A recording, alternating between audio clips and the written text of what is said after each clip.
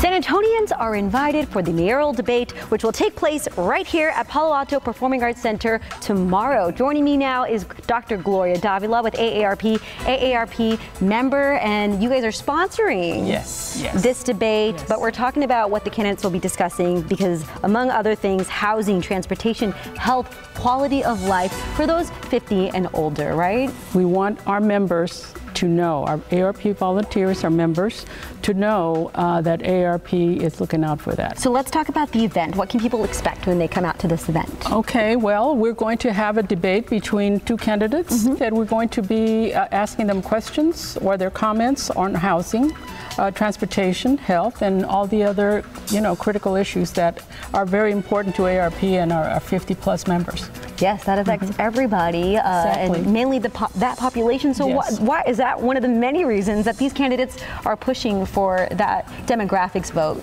Well, as you've probably heard, the older uh, population, 50 and above, they vote, and they come out and vote in greater numbers than you know, the, the, the regular population. I'll give you a couple of uh, statistics here.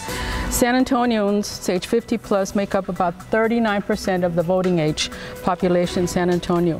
And yet, 67% of voters who cast a ballot last election were 50 plus. Wow. That is 67% of the seniors or the older citizens that come out and vote. And that's that's every election. We top everybody else. So that's why AARP is putting on this event because we care about uh, our, our seniors and we care our, our members and we want them to be able to get out and find out about the candidates so that they can come out and vote. I just want to say about AARP that it has a long history of nonpartisan voter engagement.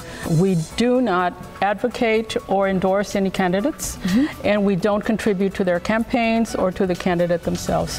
Thank you, Dr. Davila. So Nowcast SA is hosting this event, and joining us here too is Charlotte Ann Lucas, the executive director. So when people come out here, they will also be able to fill out questions is right. It's really important that the candidates answer questions that come from the people who are going to be voting. As, and so um, when people are in the audience, they'll be able to fill out questions on, on on cards, and those cards will be uh, curated and submitted to the um, moderator.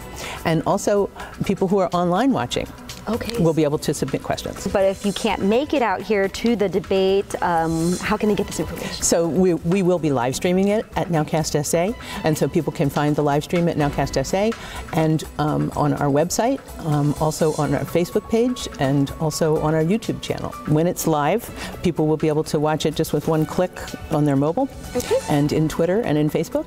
And as soon as it's over, you'll be able to hit the replay. So the two candidates who are invited to the debate will be uh, the incumbent mayor, Ron Nirenberg, mm -hmm. and his challenger, uh, Greg Brockhouse, mm -hmm. who is now District 6 City Councilman. And you also brought some support I with you I also want to say that we have some AARP members.